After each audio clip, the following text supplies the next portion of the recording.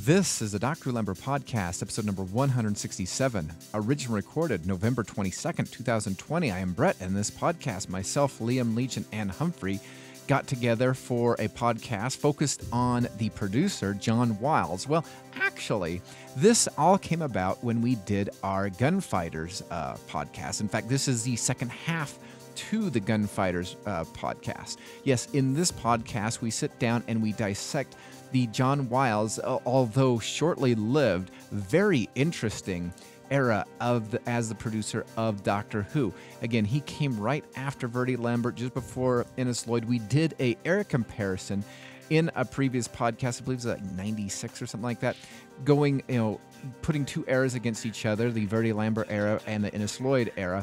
And we skipped over this because we didn't think it was that interesting. However, once we started getting into the gunfighters, we found that that was the exact opposite. The, Ver- the John Wiles era was very fascinating. We have lots of sound from a convention in 1986 that uh, Legeon found, as well as some uh, audio from the Gunfighters documentary. So sit back, relax, enjoy. I will tell you, it may be a little um, controversial at points, but uh, I hope you enjoy. And now to the podcast. So moving on to from this to the producer of the well, he saw through the story, the the gunfighters. John Wiles. Again, this is just fascinated me beyond all belief. Uh, again so the show notes for the gunfighters kind of turned me onto this, and then I saw the documentary that is on um, the gunfighters, and I was just amazed by it. So let's let's break this down. And the neat thing about John Wiles is we can also kind of connect him and talk to re- revolving around what he did, similarly to I guess what Chibnall kind of has done to some extent, if you like really look mm. close enough, I believe. So here's uh, a first clip I'll play. Donald Wilson's chosen replacement for Verity Lambert was John Wiles, an experienced writer and script editor, but as it turned out, a reluctant producer. He was South African. Uh, he as it were, fled the apartheid regime. We got on terribly well. He was terribly easy to get on with. Both John Wiles and Donald Tosh came to the show determined to shake things up. He'd worked a lot with children and uh, knew uh, really a lot more about the psychology of children than the other people in the BBC, you know, and they mustn't be too frightened. And he said, absolute rubbish. They love being frightened. And so we really did, you know, begin to kind of turn the screws a little. We wanted to develop the programme and get it out of the somewhat childish rut we felt it was in. It was the boundaries we wanted to extend the most, to push it a little bit more towards adult science fiction, so we could touch subjects that Verity and Dennis hadn't wanted to touch. So, mm. I thought that was quite in- intriguing, revolving mm. around the direction that he wanted the show to go. What was that pulled from, Brett? Documentary on the gunfighters. Ah, right. Um, what's interesting is it's very like uh, Philip Hinchcliffe and Robert Holmes several years later. There's, oh yeah, you know, the way they're talking is so, so similar. Well, mm. I, and I appreciate the, the fact that you know I, I I don't understand I don't I don't think it was said that he feels as though that you know the kids like being scared and stuff like that and what, the first story that I believe he commissioned and, and did was the Mythmakers. We'll find out a little bit later that he basically had no so, part to do with Dalek's master plan. He did the massacre followed by the ark celestial toymakers or was actually kind of done by the time the ark and celestial toymakers came around and then the gunfighters and the savages were still under his watch but he was no longer part of the show so he he didn't commission uh, Mythmakers or Dalek's Master Plan, they were already there. Um, he he had mm. a hmm. hand in the Ark and the uh, the Ark, uh, the Massacre of the Ark, the Celestial Toymaker, Gunfighters, and Savages. Uh, that's that's where he he brought it in. Um, he was basically given the reins at the end of Galaxy Four, when new heard rumblings that Maureen O'Brien uh, wanted to leave the role. Called her in, basically went, "Okay, you're sacked. You're going at the end of the Mythmakers." Yep, which she was shocked um, at, wasn't she? Apparently, he, yeah, because she did want to leave, we'll but she that. didn't want to leave like that. He then let Dalek's master plan do what it did. He hated it, but he had to do it because it had already been Okay. commissioned. Okay, can we talk about the sound that we currently just listened to? Because I have a whole bunch of clips that get into Yeah, yeah, yeah. what we're talking about. So, again, the the direction. He wanted to be a trailblazer. He wanted to take over from Verity Lambert, and he wanted to make his own indelible mark on it, which will be completely different to Verity Lambert. Yes, Which and again, I think. I, I, I No, no, I, I think you're going to say a very similar thing. You you can appreciate that, Mhm. but at the end of the day, he's got he's come into a children's what is fundamentally a children's show. Yeah, and it didn't work. It has out a format. well. and it I has a fixed format. w- w- what I appreciate about what he did is he realized that you know kids like being scared and he, Yeah. he- you know he mm. we need to kind of pander Yeah. to not just the children's audience but a more adult audience and a more you know and try to you know step it up a level but Yeah. my argument without talking about the the next up and coming stories that he did I don't feel as though he actually did I feel as though he actually took it back a level in some mm. aspects I mean, there are aspects of the massacre which is shocking, but oh, that's Oh, the true Oh, historical historical facts of it. Um, yes he sort of brought in the idea of the historical as well. The Doctor and companion don't take part in the main events; they are just skirting on, on the edges, which is what the Doctor does during the massacre. You know, he he's a fascinating, fascinating man because Yes.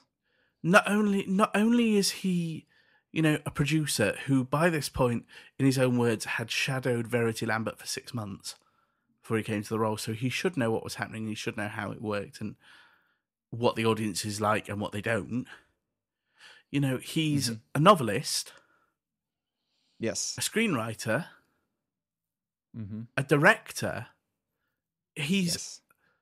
he's got many titles under his cap and he doesn't really bring any of them to the table or wasn't allowed to bring any of them to the table for Doctor Who by the higher ups. Mm.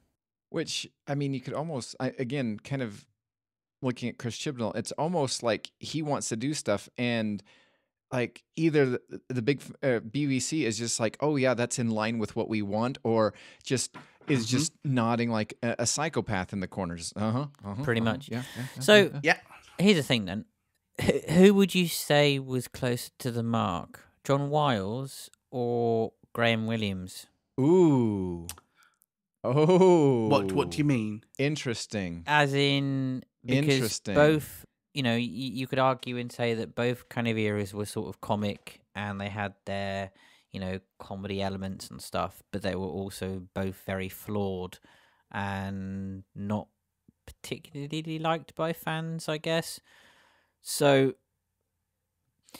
who who do you feel had more of a grasp of Doctor Who, and who do you think pulled their off better? Graham Williams. Yeah. I Hands down, Graham Williams- Graham Williams left because you know he wanted to. John Wiles literally threw his toys out the pram. Uh, because he couldn't make any any of his marks on the show and he left he literally he he resigned he basically went i'm not doing this anymore yeah, you know Well, not only that, but you also have the fact where Graham Williams had to take it down, It was basically kind of ordered to take down the macabre uh, aspect of the show and kind of. They were in trouble with Mary Whitehouse. A little bit.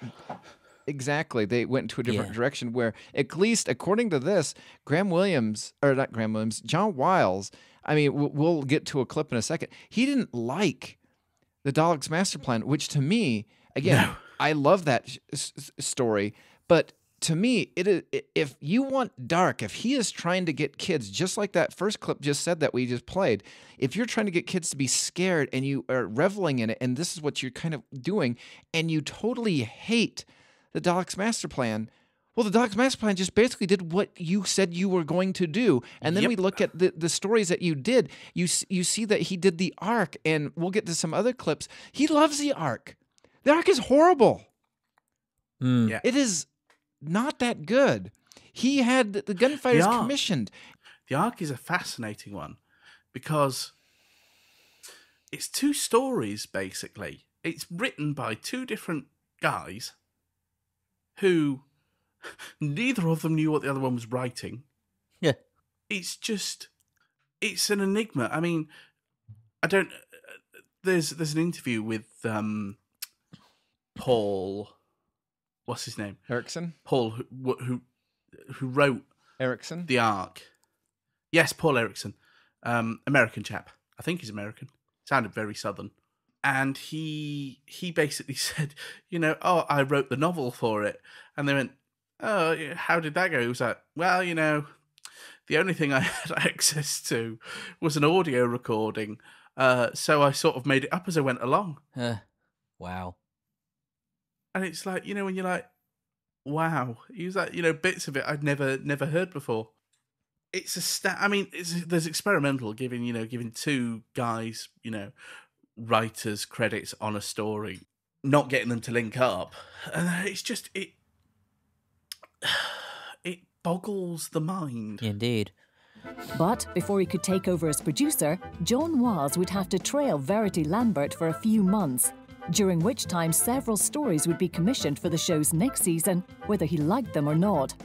In the meantime, William Emms delivered his scripts for Galaxy 4. The story itself was awfully thin, uh, and we couldn't think what else to do with it. By this, I mean, you know, we, we had inherited it, and, and it had all been approved, and so we just kind of ran along with it. The last story credited to Verity Lambert would be Mission to the Unknown, a single episode not featuring any of the regular cast, but instead concentrating on the dastardly Daleks as a prelude to the forthcoming 12 part Dalek story. What 12 part Dalek story, I hear you ask? What we did not know was that Verity had already commissioned a 12 part Dalek. Johnny was furious, uh, quite reasonably. I mean, we should have been told at least, but we were presented with it as a fait accompli. John Wiles had a similar reaction, considering it An enormous rock in the middle of the sea, and one on which any boat we were going to run would be submerged. It was handed to me by Verity and Dennis. Donald and I virtually washed our hands of it, and it went on more or less without us in the hands of Dennis Spooner, who did most of the writing, and Douglas Camfield. I was nominally in charge, but I had absolutely no authority. so Wow. to me, that just kind of shows just I, I I I understand. When you are the showrunner, you want to be in charge of it all. You want to have your grand schemes. You have this plan or whatever. But to me, the thing that's just baffling to me is he shadows Verity for what six months? Did it say A six few weeks? months. Yeah, six, six to eight months. Six to eight Yeah. months. He was unaware of a twelve-part Dalek story, and you're shadowing her for Mm. that Mhm. long. How can you not and know? then to exactly uh, how can you be kept in the dark unless you're just you're you're tuned out altogether? And so you have this and then you have again to me the greatest first doctor story ever dalek's master plan and it did what exactly he wanted it to do but he washed his hands of it. You know what? I, i'm not going to do anything about it. Who cares? Like really He um just, it might not be a part of your grand scheme, but to just sit it out. Mm. Well, there's there's an interview with him where he they, they go to him. Oh, what did you think to the Daleks master plan scripts? And he was like, I didn't read them. Uh, You know, I literally washed my hands off it. Dennis Spooner took full charge of that one. yeah.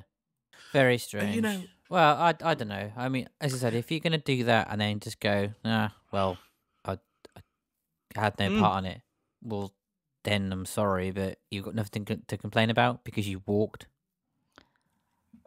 you know? Mhm. So, Right. Yeah. his loss. But viewers would have to wait for their Dalek action. Before that would come the first story commissioned by John Wiles and Donald Tosh, an adventure set during the Trojan War called The Mythmakers. The Mythmakers I absolutely loved. We had a wonderful cast.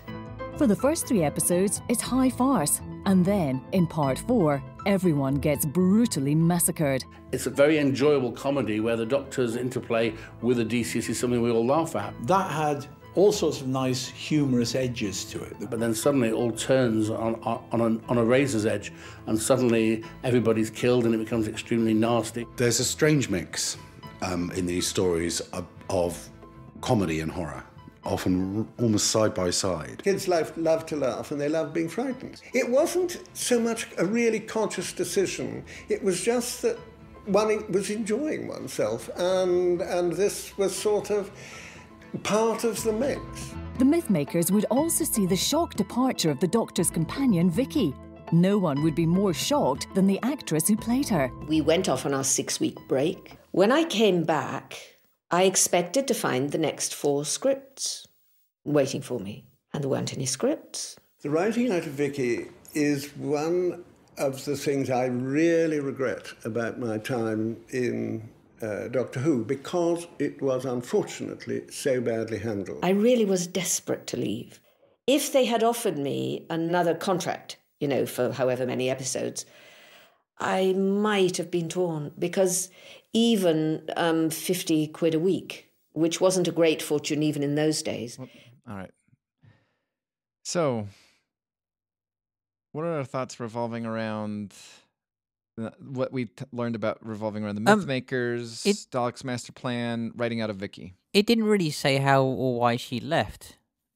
Um, it sounded like there was going She to got sacked. Going to She- be more to more to that than Well, there was. But she she she wanted to leave. She said she had been leaving hints that she wanted to leave, and so Donald Tosh, the script editor, wrote her out. Mm. I, I- cut out parts of it because it was basically Donald Tosh just kind of apologizing, saying, "Oh, I, you know, I basically handled that badly. I probably shouldn't have done that." But you know what? When you're leaving hints that you want to leave the show, and then they let you leave the show, you know, to Maureen O'Brien, like, I'm sorry, you have no reason to be upset when you're just like, you know what, I want to move on. I, I want to move on. And then when you get allowed to be moved on, what, uh, but, uh, but, uh, uh, what, huh? This was, uh, uh, I wasn't expecting this.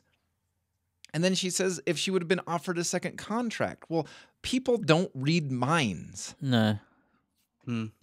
uh, I I don't know. I can see both sides of the the coin. I think what they should have done is they should have taken Maureen O'Brien aside and said, "We've heard you've been, you know, dropping hints. Do you want to leave? You know, do you want to leave straight away, or can you hang on for, I don't know, X number of episodes?" And i- i- you know, they should have communicated with her better than that. I think that's where the error is the fact that they didn't have a dialogue with her and confirm it properly rather than just going on hints and rumors. Oh, and Oh yeah. But I will say, having done two previous uh, era comparisons, or not era comparisons, you know, the highlights and lowlights of the first and second Doctor's era, I mean, that's just the BBC in a nutshell. The lack of communicating. See, I think they handled, they got better over the years. I think the way they, they handled Polly and Ben's leaving was considerably better. They didn't just go, "You're leaving." Yeah. They went, "You're leaving on this episode. Your contract goes until this episode. We're still going to pay you." Yeah, And then when it came to Anneke Wills, they're just like, we would like you to stick around. And she said, no, if he goes, I go. Not without Michael which is so- Caine, you know, fair enough.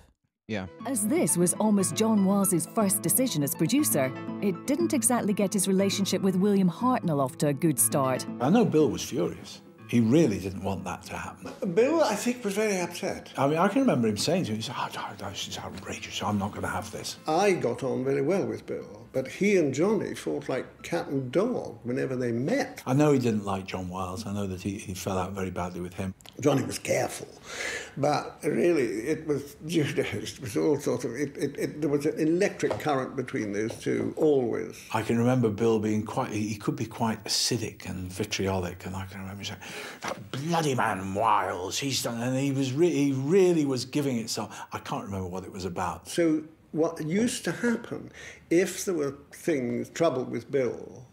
I would have to deal with it. It was okay, fine, Donald. Down you go to the rehearsal rooms. Have a quiet chat with Bill while he's having his lunch. If they couldn't get me, if I was uh, doing something else on the way, uh, then Johnny had to go and deal with it. Eventually, my directors devised a code for me. They would turn to their PA and say, You'd better phone the designer, which meant get John down here quick. so that's just an interesting uh i mean you know granted sometimes the talent does not get along with the producer executive producer or whatever but that's just an Mm. all kind of stemming from the how they handled maureen o'brien but also I, i'm kind of curious if william hartnell already just didn't like him just to Mm. begin with He didn't like change, did he? Bill No. Hartnell was No. a big Plus, stickler. um, he he hated w- change.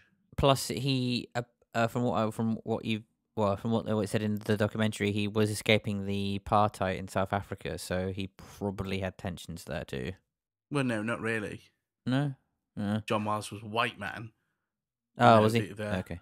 Ah, Oh, I just yeah. thought there might be some sort, you know, some racial element there because of No, what no, no. Bill was like. So No, I don't think that had anything to do with it. I just think it's the fact that somebody came along, tipped up the apple cart, and Bill Hartnell didn't like it. Mm. And uh, But Wiles, by the sounds of it, didn't help the situation. oh no, because you know he, ri- you, you know, whereas if someone had gone in, you know, gently and and discussed things with Bill again. Bill would probably have been perfectly all right with it. It is the fact that, But then- then again- this and- we you know we know from interviews that wouldn't have been. You you couldn't No. just discuss things through with Bill Hartnell. no, There's a story Sydney Newman tells, and Dennis Spooner uses it. And Dennis Spooner was like, "How do I deal with deal with Bill Hartnell when he's, you know, throwing his toys at the pram?" And Sydney Newman basically went.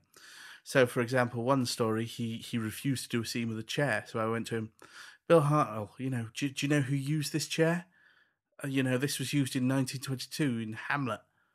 Uh, you know, why why is it? You know, such and such a great actor used it, and Bill Hartnell was like, oh you know, oh, you know, I, I, if I if I could be, you know, like them, then that's fine. I'll use the chair. Mm. And it's it's you had to walk on eggshells with Bill Hartnell, from what I understand, mm. and you had to sort of manipulate. You had to make him think it was his idea and it would be beneficial towards him before he'd do anything. And mean, we all know he was an irascible old soul, John Wiles was the Mhm. first producer that coined the idea of getting rid of him. yeah, Oh yeah, we'll get to that in a second. But you could, uh, to me, John Wiles at some to some extent kind of reminds me of JNT when it came to Tom Baker. You know, by this time, Mm. Tom Baker, uh, you know, even though this is mid third season, or this is he takes over in Galaxy Four in the, the third season, and he starts putting his um, mark on the show with Mythmakers, and then of course he doesn't get his way with uh, Dalek's master plan, but he's trying to make his mark on the show. He kind of isn't allowed to, but then you have the the the star of the show is the star head figure that you need to keep happy yeah. and you can kind of see the same thing with Tom Baker and JNT where Mhm. Tom Baker Mhm. had been doing it for so long and JNT just says hey you know all that comedy stuff we're we're taking it all out and in that point JNT had just barely been hired and he it was just and Tom Baker's just like hey then I'm not going to sign a contract and instead of playing a game that Tom Baker was allowed to get away with in years past where they'd be like oh no please you know please sign a contract like the BBC and J and T were just like okay we'll Mm. find somebody else Yeah, Yeah. and Tom Baker was not allowed to play the game anymore. no. Yeah. O'Brien, Yeah. the production team introduced Adrienne Hill as Katarina, a handmaiden from ancient Troy, which seemed like a good idea at the time. I think it was assumed that Adrienne was going to be the continuation. She was going to be the next, um, the, the next girl companion for some time, and they realised very quickly that they had a problem because Adrienne was from Troy. we suddenly realized the huge problems we would have in having somebody who came from that far back in history. Everything will always have to be explained to her. And it was going to be a nightmare. You know, that's why she, she goes. After having been whipped up into a frenzy of excitement by Mission to the Unknown, many viewers could be forgiven for wondering where the Daleks had got to. But they wouldn't have much longer to wait as the TARDIS touched down in the jungle of. Hmm. So, do what are your thoughts revolving around? Because I've always kind of wondered how far, because we do have Marc in the current Big Finish Fifth Doctor series. He's also Marc Erimem is as well. kind of Mm. around the same time of, yeah, and and Erimem. And W- and Erimem's before. Yeah, Troy. exactly. And so Erimem's was way before Troy. was it, it was it the writers unable to write the character properly or are big finish just trying to or did big finish uh when it came to erimem and marc just be like okay these people kind of get it let's just go on with the story. Things do not have to be all magical and whatever because you know katarina is constantly during the first couple episodes of the dalek she thinks she's dead.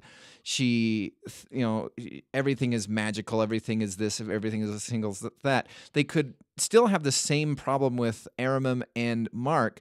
However is it the character of eric and marc or uh, erimem and marc is it the character that allowed them to do this compared to katarina or do you think it was just the writing at the time Uh, I think, Hmm. um, for, well, if you look certainly at Erimem, Marc, I'm less familiar with. I haven't listened to the stories as thoroughly, but Erimem, they did a very sensible thing in that they had the Eye of the Scorpion, and then they dropped her in 17th century France, which was different by a long way. But there were certain things that were same. I a lot of people still used swords and things like that that she was familiar with. Yes, she, there was gunpowder and things which were rather a shock to the system. But there were things there that she, you know, knew what they were. It wasn't in, you know, it wasn't all futuristic machines. Also, and, don't forget you know, though too of her position. She was a queen, or she was in line to be pharaoh, whereas Katarina was just a handmaiden. So from the off, Erimem but was going to be let's look ed- at marc though Um, this is true.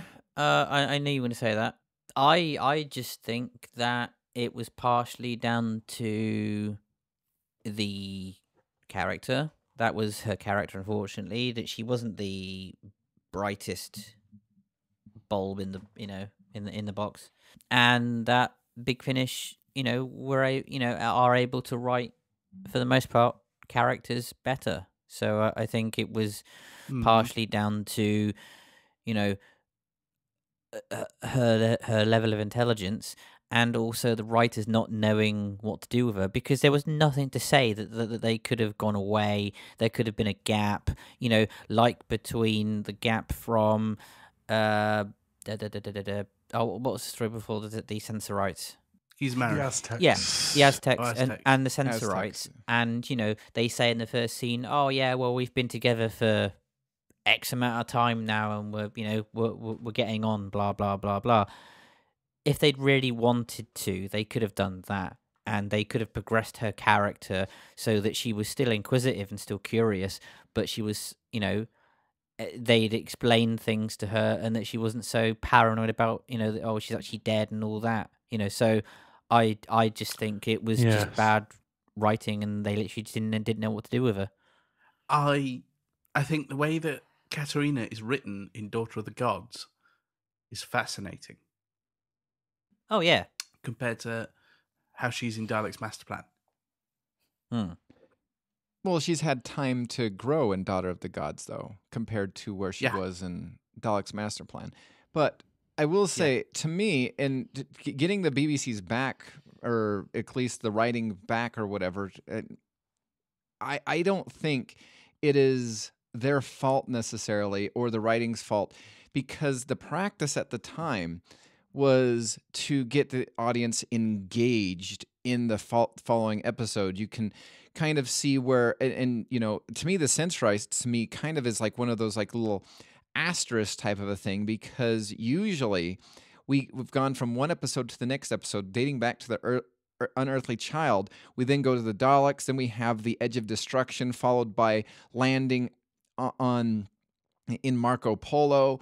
I mean, all of these stories are one after the other after the other and i believe the main reason why they did that is they wanted the audience to come back just because they're done with that stories uh, that story arc or whatever we need to tease the next story we need to you know ooh hey th- there's a, a mysterious uh, uh, this TARDIS is surrounded in snow.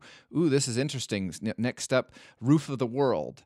I mean, it, it was to mm. drive the audience to want to return to the next week, even though the story, as seen, is all wrapped up. And so I don't think that it is the actual writing's fault for Katarina's. You know, they, they could have done what the Sensorite says, but that wasn't like, I guess you could say, kind of in the books to that extent. And also with the Sensorites, they've already had six stories of adventures together, and maybe perhaps the the ratings were.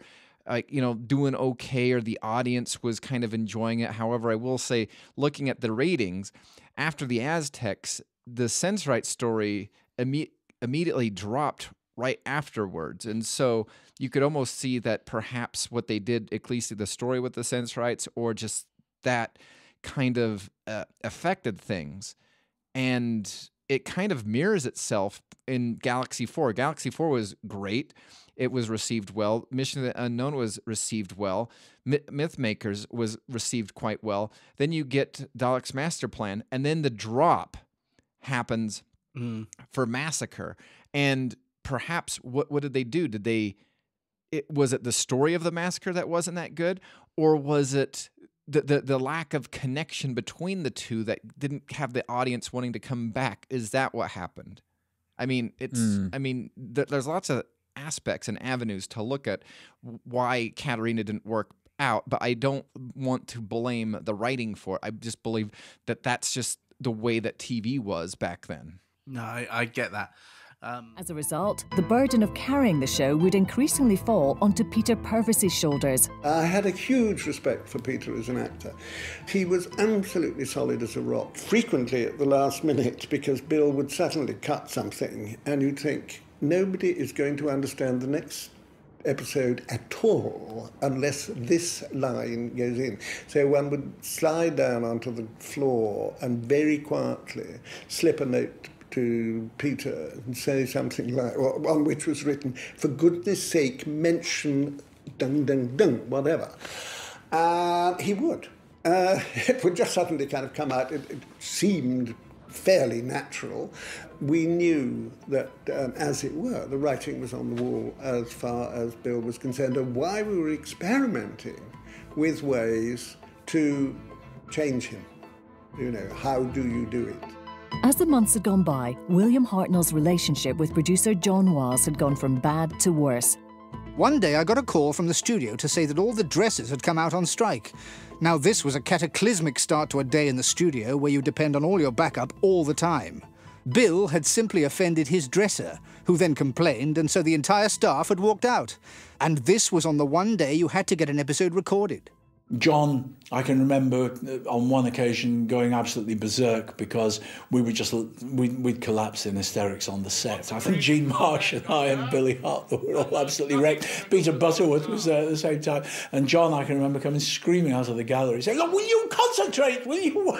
That's right. A reluctant producer at the best of times, John Wiles was now feeling the strain. They kept on saying things like, you've got to save this amount of money or lose that or do the other. And he felt hugely restricted because, you know, there is the budget, I mean, which was small enough anyway. Um, and for it to be perpetually being mucked about with other people telling him what he could and couldn't do in it. He just felt, you know, life is too short. Hmm. Here, here's a question. Just listening to that, do you think John Wiles was just not able or equipped to be a producer for the show Doctor Who? Sounds like it. Yes. Yeah. I would agree. I would. I mean, let's be honest. It's, it was one of his first main producing roles, from what I can understand, uh, if not his first producing role, and it Yeah. was just he he didn't help because he was very wet behind the ears. Um, he had the irascible Bill Hartnell to deal with. Yeah. He had stories already pre-approved that he had no dealing with.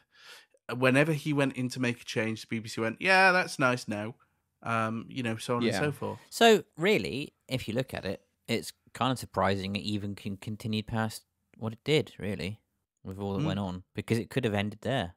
All right, so I'm going to play two clips back to back. Um, this is from uh, one of the things that Liam or Legeon sent me. This was from an interview, or a panel in 1986, featuring um, oh, who was it featuring? Uh, Paul Erickson, which who wrote the Ark. It also featured, obviously, what was was was this the one with William Emms? Or Was oh no no this is Dennis No, Spooner that's Dennis and Spooner. also yeah, this is Dennis Spooner. and- Okay, so I'm gonna play two clips back to back. So seemed to be in in all your stories, John, something rather unusual in each of them. I mean, you never got a sort of straightforward uh, beginning and ending, and that, that was it. You know, a companion got killed, or, or the TARDIS materialised in the same place again. Was that all deliberate? I mean, did you? How much input did you actually give to each of the stories that you were concerned with? Taking over from this majestic personality of Verity Lambert, um, who established very much, very firmly her own stamp upon it. Um, and her relationship with Bill was so very fixed. Uh, and she had worked so very, very closely with Dennis that when I moved in with my story editor, um, with my own particular ideas, as I say, I fretted about this, the shape of the shoe and tried to exhibit my and demonstrate my own weirdness, right? And I think I was everything that Verity had said black. I wasn't actually going to say, well, it's white, but I wanted to play around with shades of grey. And I had, um, and I'm sorry we haven't been able to trace Donald Tosh, who was my story editor. I've talked about him before. He was a great character. And you think I talk fast and get excited. By God, Donald actually outstripped me. And he'd wave his hands and shout and carry on and never draw breath and would bowl me along with the great things of enthusiasm and introduced me to poets that he wanted us to read. All kinds of weird people came to the lunch and ate my food, and I couldn't, I can't remember who most of them were, but um, most of them didn't even know why they were there, except Donald felt they ought to come in on the program. So yes, a bit weird. Uh, and then I found that I couldn't actually get it to go the way I wanted. So then when I left, it left it all rather hanging in the air when Innes took over. So when you write, because you're also you know, a well-known writer, do you tend to write stories that have messages to them rather than simply entertainment? Um, I, am one of those awful people who has to write something to find out what I'm writing about. This is very boring if you're writing a 100,000 word novel. Because having written it, you think, Christ, I haven't, I, you haven't said anything I thought I was going to say. Um, uh, and there may very well be a message, and, and, I, and I'm not really particularly proud of this, and I certainly don't do it deliberately. The people I envy mostly, and I wish I were like, were the people like Dennis, who um, work absolutely practically, and I don't mean anything by disparagement. I, you know, I think to work like that, to a, a, what a format, where you say what you're going to say and you sell it and you go home with the check, and you're not waffling around like me saying, "Oh, well, the whole thing was a waste of time." I think that's a, it's a, a marvelous way of working, and I haven't got it. All right. So the those are two uh, snippets from uh, again a convention, a panel that uh, John Wiles was on in 1986. What are your thoughts from what he said? Um, it just kind of affirms things, really. That you know he he uh just struggled really in that role. Um, but you know, at least he's kind of honest about it. He basically went, Doctor. From what what I get from that uh, interview is he he works in a very fluid way. you know, if it happens, it happens. If it doesn't, it doesn't. Doctor Who's a very structural way. And it wasn't right. That's not the way he works. Yeah. Yeah. I just think it's interesting that he writes a story not knowing where he's going to go with the No. story, and then if he Hmm. if there's a message in there, it's in there. Yeah. Mm-hmm. I mean, Like it's interesting that he doesn't seem to sort of hold any animosity towards the show, which which is nice. But as you say, it, it is it is a bit it is a bit baffling his way of working and writing. He um he says later on in the, the interview that you know when he just left one second. Doctor I Who, think I might he left have the BBC. oh, okay, Fine. I might yeah. Here here's a clip. Yeah. Um, he's asking you, John, if you'd ever consider producing Doctor Who again. Oh, I'm not the person to ask for that. No, I, I, I don't think it ever, ever likely to happen again. Um, and I left the BBC many years ago, 20 years ago, a long, long, long time. And um, I don't think for a moment uh, in their wildest dreams they would ever think of taking me back or ask me to come back. It's not the kind of job one would ask for. Uh, and I'm quite sure. And I'm, I'm now a long way out of touch with the technicalities. I think things have changed so much. Um, they've got very nasty. I know, I know that. and It's, it's now an absolute jungle. And I'm warned never to go anywhere near Television Centre. It's, it's so, so dangerous. Uh, they stab you with an idea, and uh, you know before you can turn around. Um, but I wouldn't be able to cope technically. And it was never, uh, uh, as I've said before, it was never my kind of thing. Um, I didn't like being a producer. I wanted to direct. I wanted to get closer to the floor uh, and work with the actors because I, I was brought up in the theatre and I love working with actors. But my boss actually brought me further away from the floor and put me in this, in this position of, of sort of overriding everybody and leading the team. Um, it's it's um, an unlikely situation. Although the strange thing is, you actually do like uh, myth stories because I know you've done Lords of Darkness or Lords of something. Yes, the, the, yes I, done I, sort lo- of I love, I love working with ideas. Uh, This thing of where do the ideas come from. I think the interesting thing um, is that you can't force an interest in a subject. You find that. I remember one of our writers, a man called Vincent Tilsley. Do you remember Vincent? Again, i i i he almost sounds like the reluctant producer. Like he didn't even Yeah. want the Mhm. job. Donald Tosh said, and Dennis Spooner and loads of people that interviewed about him basically say he was a lovely, lovely man to work with, but Just Doctor Who was wrong. you for it. know, Doctor Who was wrong for him. Yeah. Same thing with Chris Chibnall, right? Mm. Doctor Who's wrong.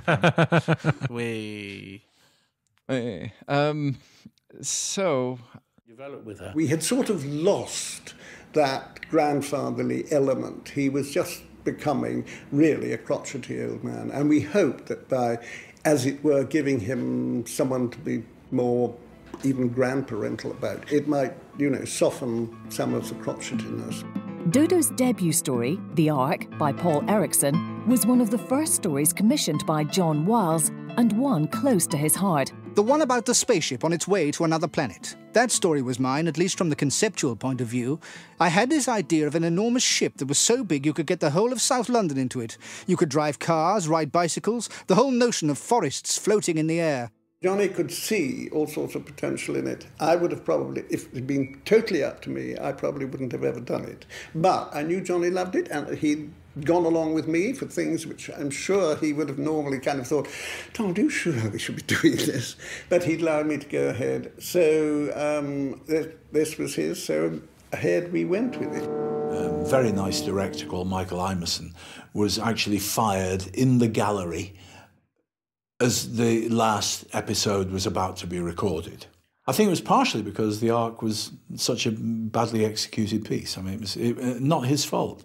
I think it showed in the design. The costume designs were awful. It just didn't work as a piece, and it's a pity because it was a very good story. But immediately after that, suddenly we had a new producer, and uh, he was introduced to us. This is the new producer, and I met Innes Lloyd.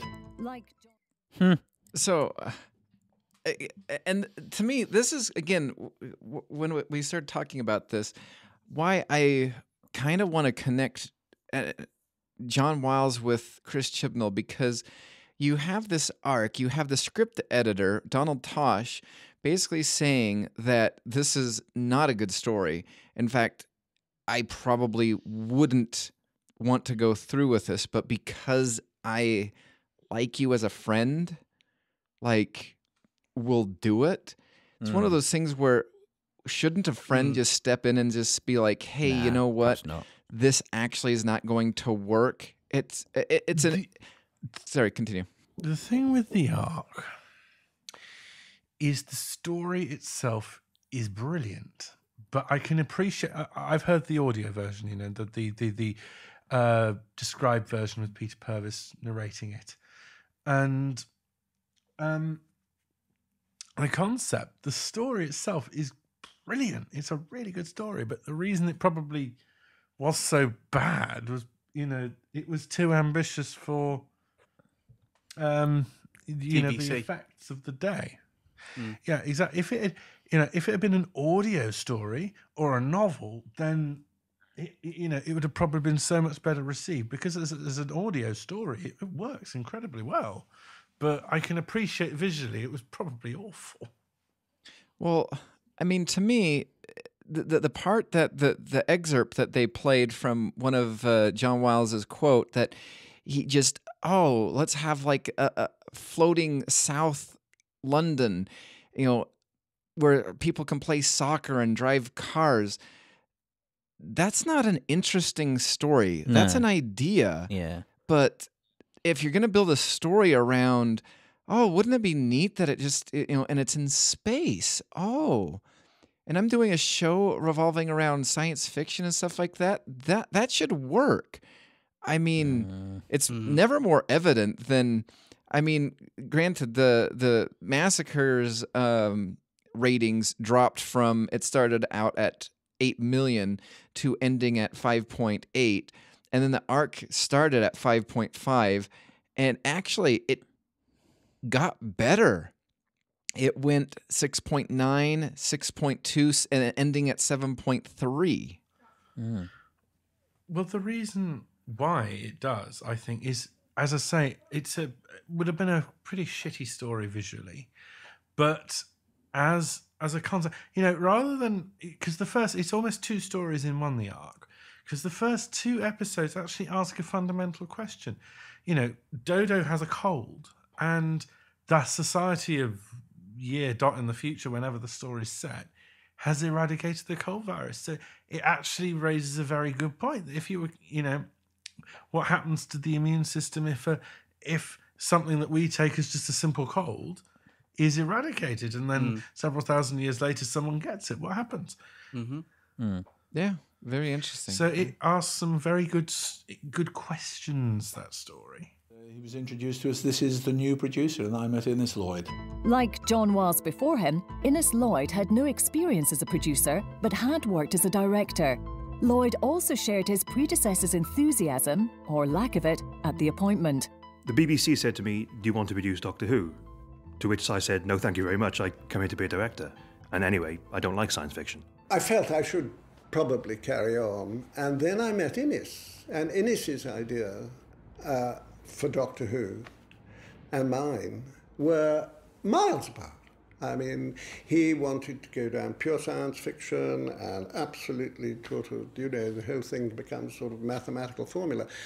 And so I said, well, I'm terrible science. I, I, I- think I should, you know, move on. I suppose the odd thing um, about uh, Johnny Wiles as producer and me as editor is the fact that we did agree so much. Um, we, I, I, I can't remember any, I don't think there was any major argument ever. Before deciding to leave, John Wiles and Donald Tosh had already laid plans for the show to continue without William Hartnell. The writing out of Bill we knew was going to have to happen because he just wasn't coping. They'd planned to write him out in the next story, The Celestial Toymaker. John Wiles's idea was that the Doctor would be rendered invisible, only to magically reappear, played by a different actor. I mean, technically, how it was going to be done, I've no idea, but we would sort of buffer one into the other somehow. But as The Celestial Toymaker went into production, Innes Lloyd was already in the producer's chair, and Gerry Davis had been appointed to replace Donald Tosh as script editor. He was full of ideas, uh, which matched up with what Innes wanted to do with the thing, which I thought was dead wrong for the programme. The Celestial Toy Maker had been thought up by writer Brian Hayles. The whole thing was going to be a real scare fest with jokes. Uh, Within a week, he came back to and said, I can't write this, I'm frightening myself, he said. I can't, I cannot do this. Because it was to do with playing with people's minds. And so, in keeping with tradition of outgoing script editors, Donald Tosh was asked to write the story himself. I went away and duly wrote it, and uh, Johnny read it and loved it. Then I took my first holiday for two years while Gerry was being was moving himself in. One of Gerry Davis's first acts as script editor would be to scrap the Toymaker script and start all over again. Content was a sort of pseudo smart Noel Coward comedy, which was wrong for the audience, but we had to salvage something. I had to sit down in the garden and dash out and act a day. The Toymaker character suggested toys, which suggested nursery, and I played around with something sinister on those lines. With more time, I could have done a better job. I came back to find totally rewritten from top to bottom. Oh, you know, well, okay, fine, they couldn't get hold of me. And I said, but you can't put my name on that. Oh, no, you've written it. The plan to replace William Hartnell was abandoned, but the Doctor would still be invisible for much of the story, giving the actor another well deserved holiday. To have his character only being played by his hand was really quite clever. So he wasn't there, and that hand could play the game, the trilogic game. The whole story. So I, I pl- that was probably a longer clip than I had anticipated, but it just was so Interesting. interesting, revolving around not Mm. only you know John Wiles's departure, but you had Innes Lloyd who didn't want again similarly to John Wiles didn't want the responsibility, didn't want to be the Mm. producer. And was kind of forced upon it. To me, the most interesting thing is, is when you, we look back and when we did the Eric comparisons between Innes Lloyd and Verity Lambert, I know I came down on the side of Innes Lloyd being the better producer of the show compared to Verity Lambert. I can't remember what you guys' uh, thoughts were on the whole thing, but I do remember. Just to me, the most amazing thing is, is he didn't want to do it, but when he got the reins, he totally enjoyed every single moment, which to me is the exact opposite of what John Wiles's Yeah. uh, Yes. position as the producer Yeah, was. He realised he'd been handed the shitty end of the stick, and he turned it round into a twiglet. Yeah. And you know, he basically went, "Okay, I, you know, I've got the reins now. I've got a script editor who, you know, sees the same thing as me. Script editors, you know, live in life O'Reilly because he's like, yes, we can turn this into proper sci-fi. Um, let's get a scientific advisor on board, Mm. which is what they did. Kit Pedler. I was gonna say, and is uh, um, you know, are um, Kit Pedler, Gerry Davis, and Innes Lloyd still around? no, No. I don't think so. No, Oh. no. They died No, long Did they? ago, mate. Ah. it, to me again it, it's it's amazing because again you have John Wiles who and Innes Lloyd basically in the same footsteps. And I the great analogy that you use Le- Legeon because you could have like when John Wiles when he looks at what he was given with uh you know Dalek's master plan he hated it washed his hands of it and just said you do your thing. I don't want to do anything revolving around this. Mm. and th- again what to bring back what he even said was hey i want to go down a darker avenue kids like being scared. Well apparently he didn't pay attention to anything that happened to Dalek's master plan. He did and and he did I guess go down a darker avenue with kind of the myth makers the third the fourth episode of that followed by uh, the fourth episode of the massacre of Bartholomew's Eve but then we get these light fluffier stories from the Ark even to me I think the Celestial Toymaker is just way too light I would love to find out Donald Tosh's original idea for the Celestial Toymaker Mm. because if it got so disturbing that he had to walk away with it, or Brian Hayles had to walk away from it for a while and then kind of revisit it. Like, what was that story like? Yeah. That's what I Mm. want to know. Mm. And then we go back to the campy, over the top gunfighters, and then you know he ends kind of his run, but he's no longer there with the Savages. So Mm. it's quite interesting to see they both were handed the same, like, I guess, unenviable task of replacing somebody, but they both went with it in two different directions. Yep. And one basically, a- and and in in part of it, they did make mention of how things were kind of going down the hill, revolving around um, this, you know, viewership and stuff like that. However, once the War Machines came into play, that kind of gave the show a, an initial bump in in interest revolving around fans. And again, Mm. that is the first thing uh, story that basically Innes actually had his hands on, and and y- y- we go to the smugglers, followed by the tenth planet, followed by the the power of the Daleks, which just just gets better and better the further you get into the Innes Lloyd reign. Yeah. And Mhm. and he- here's a question I'd like you guys to think about. The one thing from that clip that really kind of, I guess, disturbed me was Donald Tosh saying that he never, you know, him and uh, Wiles never were cross at each other. They never like had words. They never did this. And to me, you could one could say, okay, well, you had a great relationship. But you know what? When you're working on something and you have contradictory ideas, does that mean that Tosh just rolled over and said, okay? Like, Yeah, or vice versa. Mm, correct. You know, John Mars went, "Oh yeah, all right, do what you want." pretty much. I mean, I- and, and and just to look at our podcast, I mean, we come up with ideas left and right. We've done a couple of them. We haven't done a couple of them. We've paused on a couple of them, and I, I don't feel as though any feelings have been like necessarily hurt. But you know what? We critically analyze certain things, and if something's not good, I mean, uh, sometimes my favorite is bouncing an idea off of Legeon, and Legeon will just be like, um, no. It's, I'm sorry, it's garbage, and he he'll, he'll say it exactly like it is, and it doesn't hurt my feelings. It's just like, okay, well, just wanted to throw that past No. you guys, just to just to see. Yeah. and and to me, I feel Yeah, as though it no. makes like at least our podcast better, being able to do that. And I I in in one world, I you could almost wish that Donald Tosh or John Wiles would have been able to do the same with each other, but I don't think they were like those type of those were they're, they're both passive people. No, they they didn't have the right personalities yes. to reflect those those traits. Unfortunately. I feel, I feel in certain aspects, creativity is enhanced by conflict. You know, so you can you can you know we we could do a podcast where we just go, oh yes, that's marvelous. Oh, you you know that's marvelous. Oh yes, that's marvelous. Brilliant. Oh, Nothing wrong with it, and we'd lose listeners. It's boring, because yeah. there's just Mhm. nothing.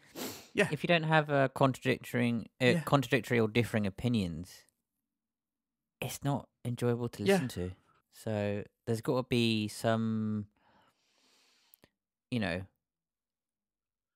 I feel opposed having a very, very lax personality, which it sounds like John Wiles and Donald Tosh had, doesn't really uh, doesn't breed the best outcome. no.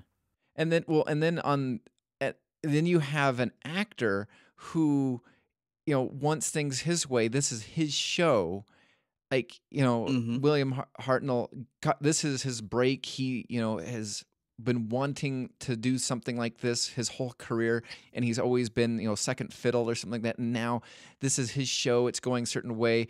And when he doesn't like something, you can you can even like harken back to Tom Baker. If Tom Baker didn't like something, they would be like, "Okay, Tom, let's do this." And with William Hartnell, okay, it, and and it, even shows in the Adventures of Time and Space where you know he's just like, "This is how you pilot the TARDIS," and they're just like, "No," no, he goes, "No, no, this is how it's done."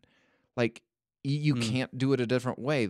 I figured out the logistics of piloting the TARDIS or whatever, and it's just this is his show this is like this, and uh, that's probably why they butted heads so much is because he he saw it one way. They're both too passive to say no, so they, I guess. And, and one part that I did cut out of it is the other thing. Maureen O'Brien losing Maureen O'Brien was like massive because she said at one point in time in the interview he would have spats five times a day and they would turn to her and be and he she would take him aside and she would calm him down and she would talk to him. She would like she basically was like you know the doctor whisperer or something like that. She would just calm him down to mother. a point where he could yeah exactly. Mm. And he, she would he would listen to her. They, they I did include the part where Peter Purves had to do part of that, but they, they said that it works so much better with Maureen O'Brien, and you could almost say writing Vicky out of the story was a massive mistake. In fact, you know what you to to have William Hartnell happy and to be able to work with him a lot better, you would have th- thought that you know if you have this great show and you don't have this idea of changing him or whatever, keep the one person that can keep him grounded, and that was Maureen O'Brien. Mm. That was probably the biggest Yeah. mistake that this show probably could have done. I mean, basically, it was Yeah. just that he was quite a choleric person. They clearly weren't. They were quite perhaps both phlegmatic in their personalities, and it just it didn't work. Interesting. I mean, I think it would have been interesting to see if if they'd you know handled the Maureen situation better, um, and told Bill, and if she was aware that she was leaving, how he how that would have actually played out on screen in that context. You know, knowing that there was change coming and they were both prepared for it. But it is what it is. I'm going to play this first clip, and this is quite interesting because, uh, again, this is done during the 1986 when the show's future was in question. Uh, probably around the Sixth Doctor era, they didn't know if it was going to come back. I believe this is part during the part of the hiatus, and so the question was posed: Do you think Doctor Who should be paused, or is it ending? And so here is the panel's discussion revolving around the future of Doctor Who in 1986. And I think it is relevant to our current day questions revolving around the show and the struggle. What do the three of you think about the fact that you, were, you did this series about 20 years ago and maybe it's coming to an end? I mean, I mean, why do you think now it's coming to an end? Have you any ideas on that? Certainly his future isn't as sure as it was five, six years ago. I don't know. Uh, I mean, I, you know, time goes on. I suppose there's an end to it all, isn't there? I think Doctor Who, if it ends in a sort of two or three or four years' time, a show will pick up the mantle in a different form and become Doctor Who again. I think it's just horses for courses, you know. I don't necessarily think it will end. Uh, I think it might be a bit like uh, the mousetrap and just become self-generating, self-perpetuating. You know that one generation will take over from another.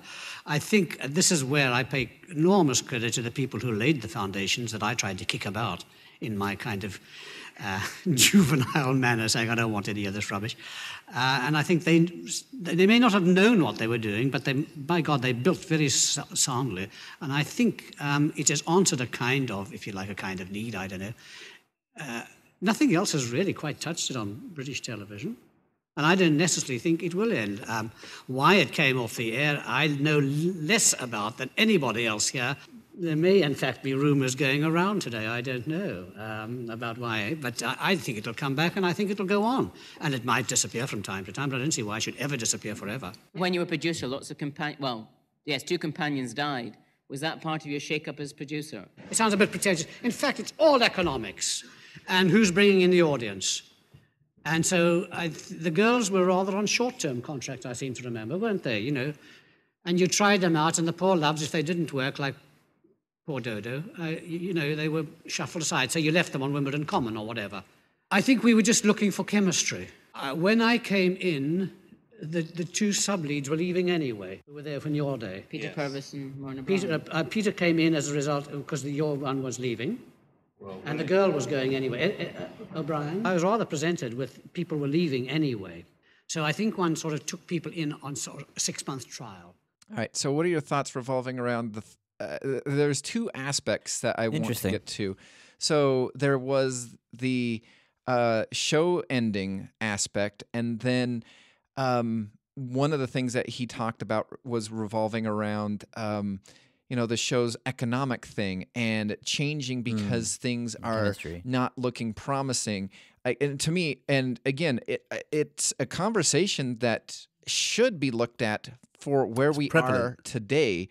Yes so what are your thoughts So I think he's absolutely spot on. Yeah. You know, in the fact that Doctor Who occasionally needs to go away for a while, but then it will come back. It will never. Re- it, it will never truly die. No. It will. It will Yeah. regenerate, as it were, in a new form. Oh yeah, definitely. With a new generation of producers, script editors, actors, etc., etc. Uh, the economics of the companions leaving, he was he he basically been lambasted with. He got Bill Hartnell, the only original cast member. Uh, Peter Purves literally came in at the end of the chase and had one story. Then they went on a six week break and then came in and he was landed with that. Maureen O'Brien hinting that she was going, so he went, all right, bye. But I think he was his own worst enemy because he, he, he repeatedly upset the apple cart. He went through three companions in 12 weeks. Three companions, companions. being Dodo. No, no, no. Maureen O'Brien got the sack. Mm. Adrienne Hill. Adrienne Hill, Bret Vyon, Jean Marsh, Ah, yeah. and then Dodo. Yep. Who, I, I, you know, I Dodo did, was an I, older. I will say, i- in in just uh, defense, so I found an article, and I was gonna use a lot of it until um, you sent me the link to the 1986 conference or whatever, uh, Legeon. But the, I I tracked down this 1999 Doctor Who magazine issue number 279, and um. I was reading through it because it was uh, the tribute to John Wiles because he had previously passed away uh, about a month earlier. And so uh, Alan Barnes, who was writing for Doctor Who magazine at the time, kind of did a memorial uh, re- revolving around his run and, you know, tried to, you know, back up somebody who's no longer was no longer with us or whatever. But one of the things Mm. that he did part it that was different from anything that I've ever heard is he just said Jean Marsh was on her way up. She was already an established actor.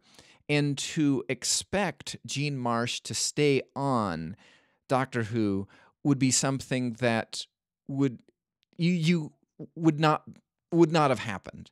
So the writing Hmm. out or getting rid of her as a companion was a necessity and because it wasn't going to happen. Uh, Did they have to kill her off? Probably not, but you know what? It it added to at the Daleks master plan and the grimness Mhm. of the Daleks master plan. Mm. Yeah. Here's a question I, I, I so talking about this, and I again I love what you said, Legeon, revolving around what um, John uh, Dennis Spooner and John Wiles said in that previous clip. But here's my question: so the show needs to, like you said, maybe regenerate from time to time or whatever. Could you argue that what Chris Chibnall is currently doing with the show is regenerating the show? No. No. No, he's no, Why no, no. not? What's the- I can what's the see he's he's he's taking a tired format, and he's basically running it for all it's worth he's taking an old pony out and he's running it into the ground. You know, it's almost dead, flogging a dead horse, Yeah, basically. he is. I think it needs to go away for a few years, whether that be five, whether that be ten years, whatever. Enough years so that the public mind goes away from it and then comes back. I, I think it needs. I think it needs resting. It does. It completely does. It needs resting. It needs to to Uh. to to to to go away, and then to be brought back f- for a new audience, new eyes, fresh perspective, fresh producer. You know everything. Yeah.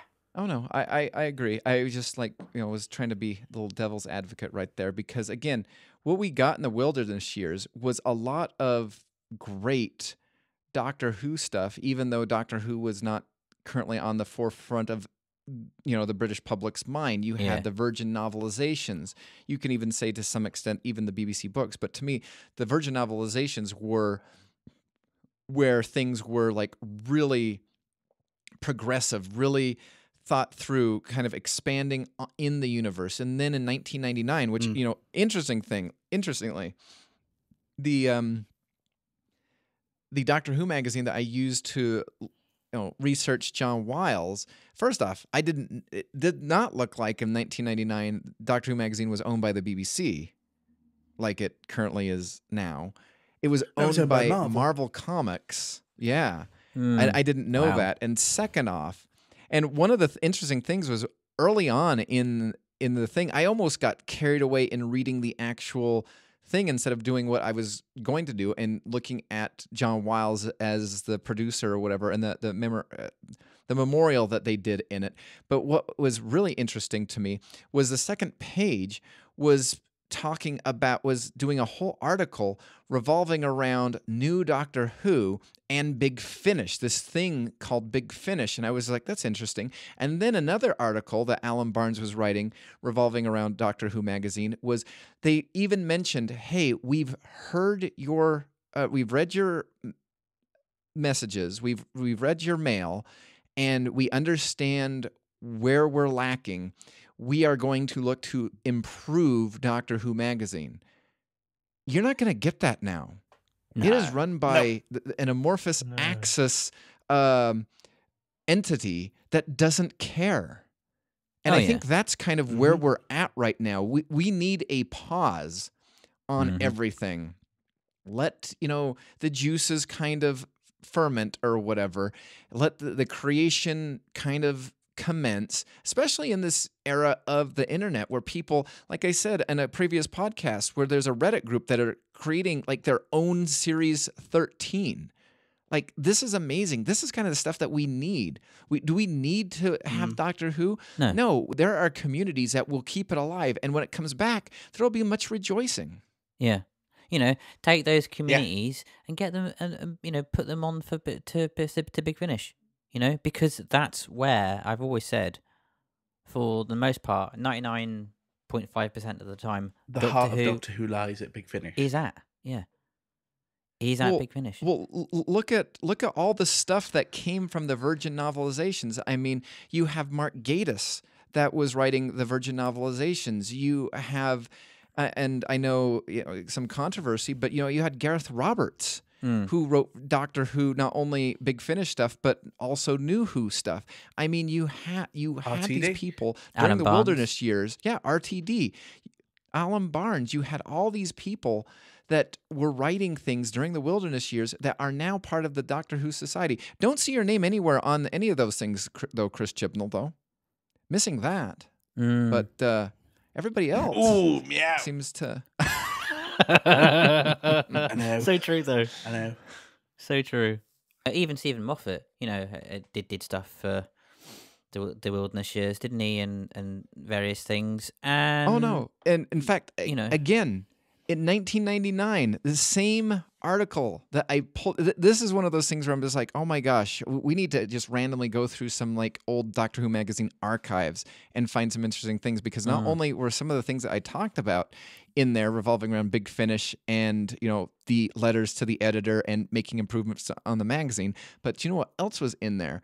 They also had in the same magazine they started talking about the uh, availability for uh, Curse of the Fatal Death was is going to be now available to purchase on VHS, and I'm just like, oh my gosh, this is amazing! All in one magazine. Not only am I just trying to find something about Wiles, but we have people, uh, Doctor Who magazine, listening to the the the right response. You have Big Finish. This there's a whole bunch of articles talking about this grand new thing that's happening. You have some reviews revolving around BBC books, and then you have the excitement of Steven Moffat's Curse of the Fatal Death being available to purchase. Hmm. Like everybody was excited. This is the wilderness years. And there was so much excitement around Doctor Who. And now Mm. all we do is we nitpick and we get on each other. Like I, I mentioned earlier on the news, where you have a whole bunch of people that are just like, well, you know, if you could be in the room with Chris Chibnall and give him some feedback, and then you know you have some people who are just like, well, I, I just don't think that you're giving proper feedback. In fact, you're just being mean. It's just like, no, that's feedback. That's Mhm. still feedback. Yeah, I don't know. Uh, like I said, I think I think we've reached a point where it just needs to be rested for a while. It really does. Yeah. Oh, Hmm. I'm gonna play this last thing, and then it sounds like we're all about ready to be done with the podcast. Yep. But uh, I'm gonna play this last thing. This is very interesting. This is one of the the last things that we'll, I'll leave you with. And again, what was talked about in 1986? Oh, hello, Chris Chibnall, BBC. Go Mm. back and listen to some of this stuff because interesting. trouble was when you make a film series i I mean if you're making a sort of an indigenous product you you you can cater for one society and one culture if you make a, a television film series you know when you make it that you to, to break even you've got to sell to a hundred countries uh, and I was attacked once in some sort of periodical for that all my uh, television film series pandered to the Americans. And I sort of wrote a very long letter saying this is quite untrue.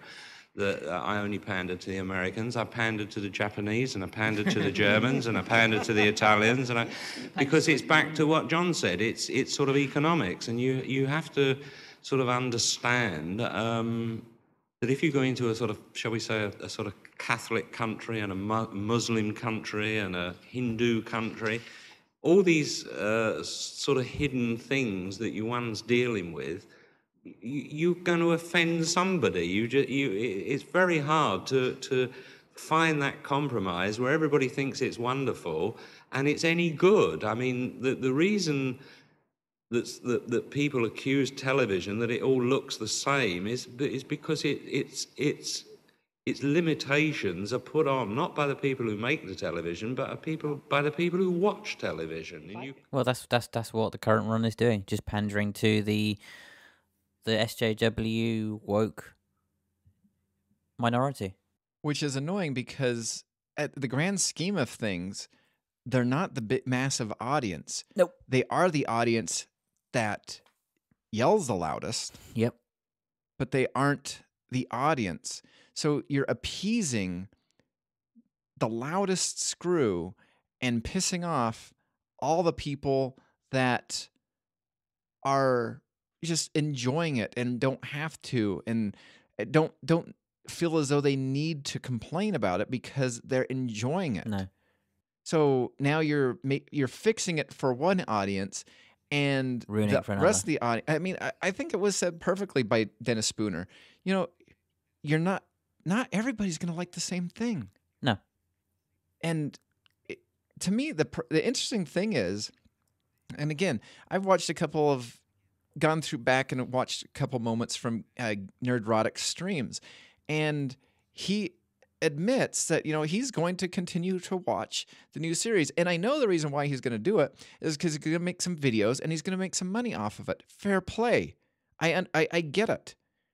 But when you have an audience that has no monetary stake in the thing and all they're trying to do is change it so that they like it but the you know the rest of the audience doesn't Mm. like it Mm. that's where my problem is with everything Yeah. True. Well, we'll see, you know, in the special and Series 13, hey?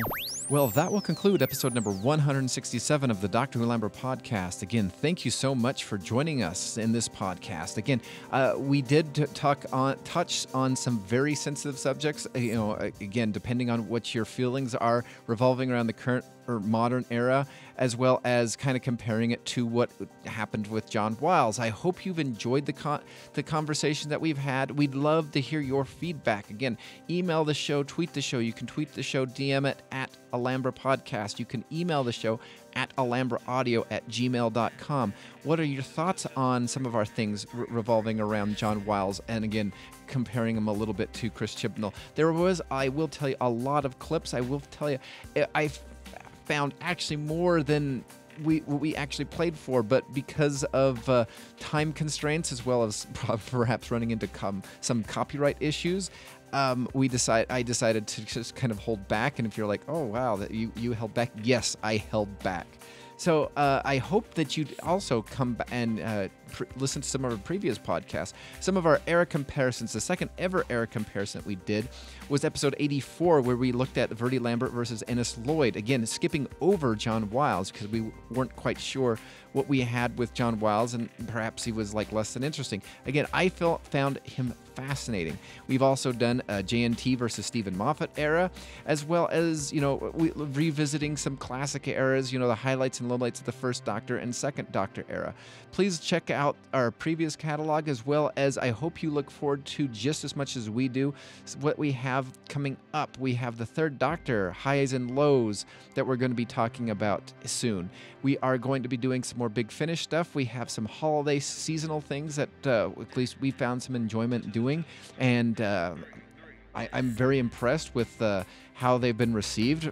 I mean, it's only been out that not that long, and we got massive uh, downloads. Uh, wherever you listen to podcasts, please subscribe, download, and uh, give us a, feedback, some five star reviews. Thank you for listening to the podcast, and uh, well, we will see you in time and in 2021. You have been listening to the Doctor Who Alhambra podcast. Doctor Who is owned and trademarked by the BBC. Doctor Who Alhambra is not affiliated with the BBC or Big Finish. No infringement is intended. Visit our website at alhambrapodcast.weebly.com or email the show at alhambraaudio at gmail.com.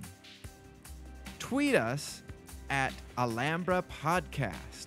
That is A L H A M B R A Podcast. Thank you.